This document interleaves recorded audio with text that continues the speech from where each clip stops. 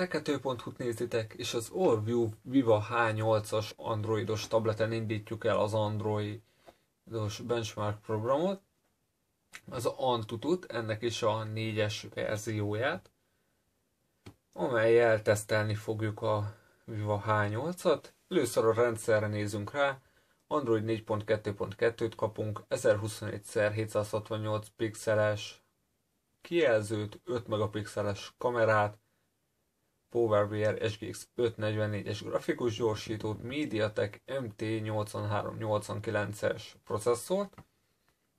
Ha lentebb megyünk, itt láthatjuk, hogy ez a processzor ez 4 magos, maximum 1,2 GHz órajellel, 1 GB memóriánk van, illetve hát tulajdonképpen ezek a lényegesebb dolgok, de természetesen fontos az is, hogy van benne GPS, illetve Bluetooth is. El is indítjuk a teljes tesztet. Ennek lefutása beletelik egy-két percbe, de ezt követően pontszámokat nézve össze tudjuk hasonlítani más készülékekkel is majd az Allview Viva H8-at.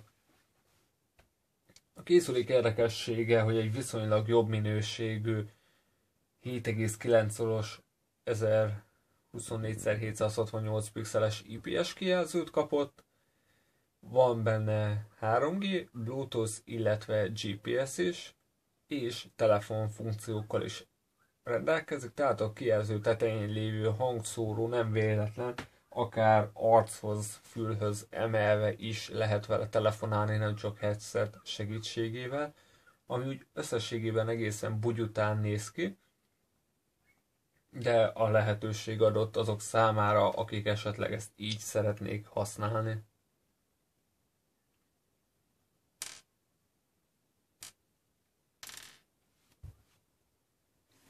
maga a hardware, ez a MediaTek MT8389-es processzor, ez nem a legerősebb felhozatal, annak ellenére, hogy négy magos.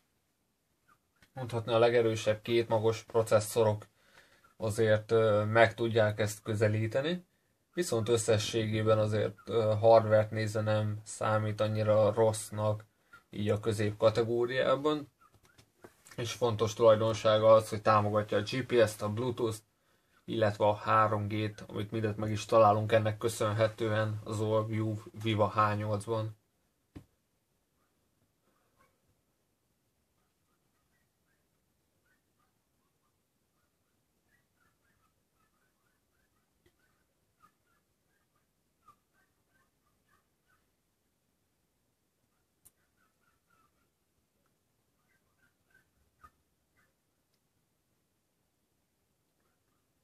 Lassan a tesztben el is érkeztünk a grafikus részhez.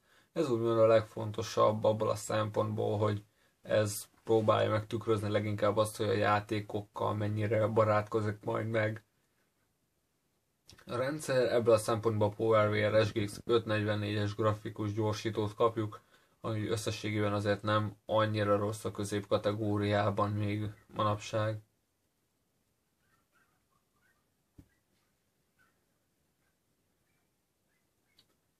Láthatjuk, hogy ezzel a OpenGL-es 2.0 tesztnél 10 FPS környékén van az átlag FPS szám. Ez azért azt jelenti, hogy a komolyabb rendelési műveleteknél már azért vannak problémák.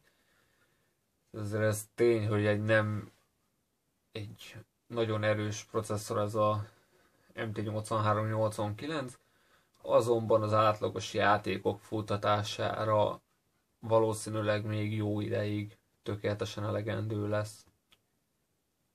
Le is futott a teszt.